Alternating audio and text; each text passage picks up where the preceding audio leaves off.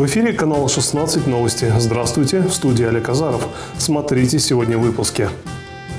Особые требования к качеству покрытия. ДЭП готовит лыжероллерные трассы к первенству города и чемпионату России.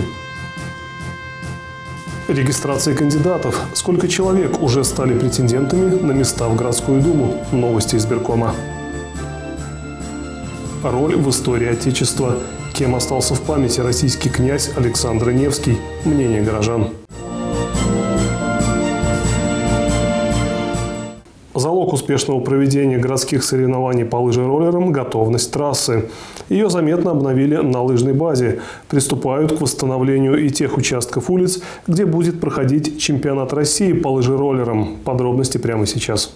Совершенно ровная и едва остывшая. Такой мы увидели обновленную лыжероллерную трассу Саровской школы Олимпийского резерва. ДЭП постарался, да и спортсмены помогли. Николай Седов лично консультировал специалистов-дорожников в части соответствия трассы строгим техническим нормам. Это требования и к составу смеси, и к качеству асфальтобетонного покрытия, к ровности поверхности, широковатости. Все вот эти условия мы максимально стараемся учитывать. Э, при подборе э, смеси э, здесь и при устройстве э, мы выполняли пробные участки и работу проводили в, э, в тесной связи с нашими спортсменами. Приглашали Николая Евгеньевича Седова, на, на, показывали ему поверхность. Первым серьезным этапом испытания нового асфальта станет открытое первенство города по лыжероллерному спорту. В соревнованиях планируется участие порядка 100 иногородних спортсменов. Это команда Арзамаса, Пенза, Нижнего Новгорода, Выксы. Также в первенстве города на призе администрации выступят наши выдающиеся спортсмены. Ожидают от саровчан успешного выступления на чемпионате России. Планируется выступление Петра Седова, Евгении Вавилкина, Марии Казикаевой. Думаю, что и Маша Турунова будет выступать. Она в этом году у нас выполнила разряд кандидата в мастера спорта. Ну, все будет зависеть от того, насколько они хорошо подготовлено. К чемпионату России по лыжероллерам готовят также трассу, проходящую по улицам Давиденко и проспекту Музрукова. Работы завершат в начале августа. Новости кратко смотрите в нашем дайджесте.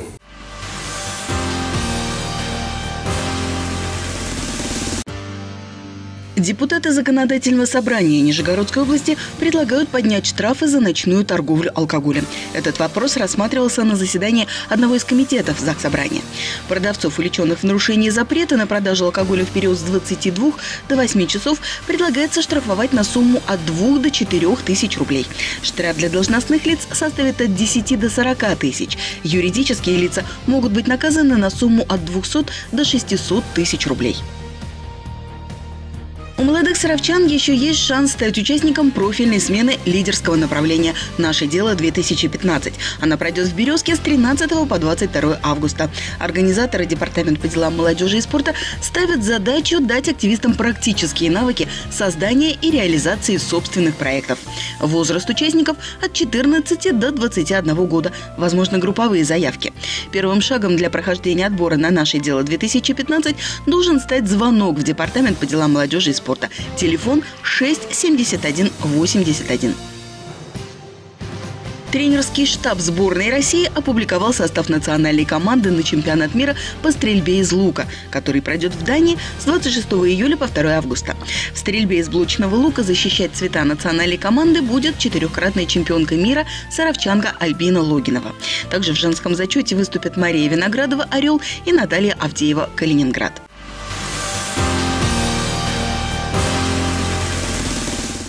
В единый день голосования 13 сентября саровчане будут выбирать депутатов городской думы 6 созыва. 9 июля приступили к работе окружные избирательные комиссии, которые регистрируют кандидатов в депутаты. Дело близится к концу, как работают избиркомы и сколько кандидатов уже зарегистрированы. Об этом в репортаже Ольги Федотовой. Выдвижение и регистрация кандидатов в депутаты городской думы шестого созыва в разгаре. 9 июля начали работу 35 избирательных комиссий, 34 окружных по числу избирательных округов в Сарове и территориальная. Для того, чтобы подать заявку на выдвижение в качестве кандидата, необходимы следующие документы. Нужно заявление, копию паспорта, копию диплома и справку с места работы. Это для подачи заявления. То есть он уже будет заявленный кандидат. А при этом надо при себе иметь, конечно, оригинал паспорта и оригинал диплома. Комиссия работает с 5 до 8 каждый день.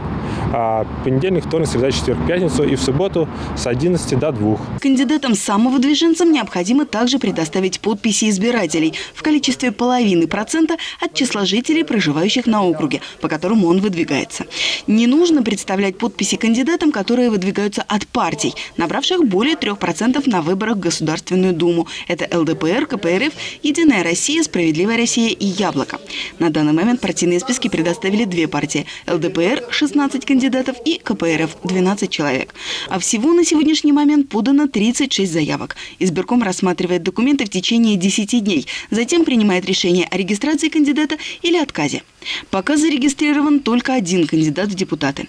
Напомню, выборы пройдут в единый день голосования 13 сентября. Мы очень надеемся, что жители города проявят активность и не как обычно придут 30% соотношения, а придут все 100%, ну хотя бы 90%, потратят свои полчаса, там час. э, Это важно, это на 5 лет мы определяем жизнь нашего города, в каком направлении он будет дальше развиваться. Заявления на выдвижение в качестве кандидата в депутаты городской думы шестого созыва принимаются до 29 июля. Окончательный список зарегистрированных кандидатов станет известен после 8 августа.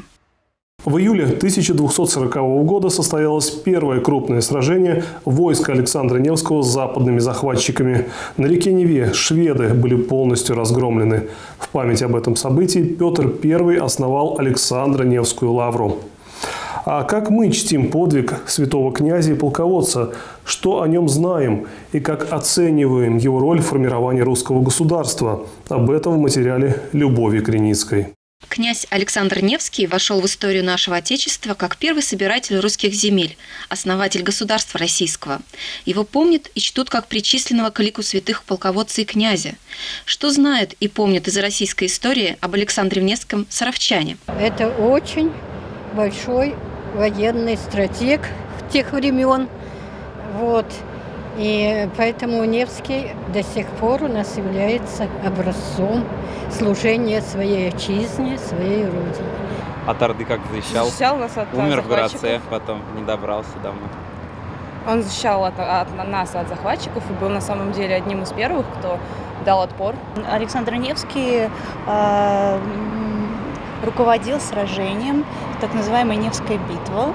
А, о, Это была одна из многих его побед, и он был прекрасным а, полководцем и одержал очень много важнейших побед а, в российской истории. В первую очередь это были победы над шведами и над э, странами, которые входили в Тевтонский орден. Великий князь был Ру- Руси, выиграл битву в 240 году со шведами и в 242 году на, на Чудском озере. И потом очень вел политику такую, чтобы это, ну, Русь сплотить и победить татаро-монгольские иги. победил в ледовом побоище, если не ошибаюсь, со шведами. Для России это было великое событие. Он разбил э, Ливонское полчище на ледовом побоище. Александр Невский хотел э, заманить, чтобы, ну, чтобы они провалились, чтобы э, его армия выиграла. Новости и программы канала 16 смотрите на сайте sarov24.ru. Впереди прогноз погоды. Я с вами прощаюсь. До свидания.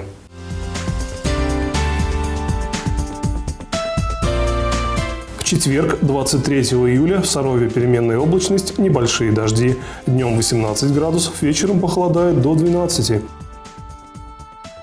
В Нижнем Новгороде 23 июля облачность будет переменной, пройдет дождь. Температура воздуха днем 19, вечером не выше 13 градусов.